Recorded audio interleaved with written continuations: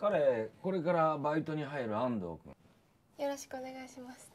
よろしくお願いします。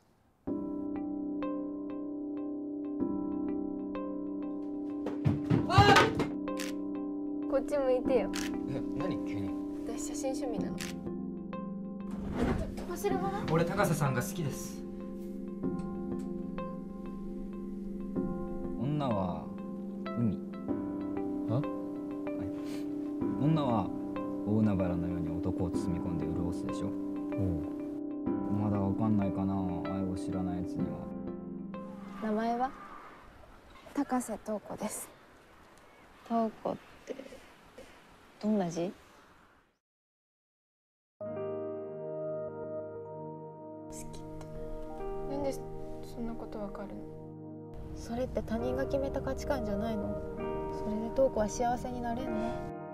俺とちゃんと向き合ってよ。自分に嘘ついちゃダメなの？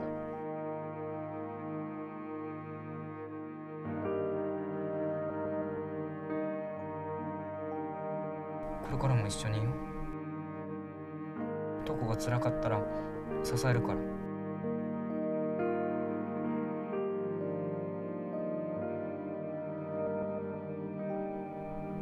幸せ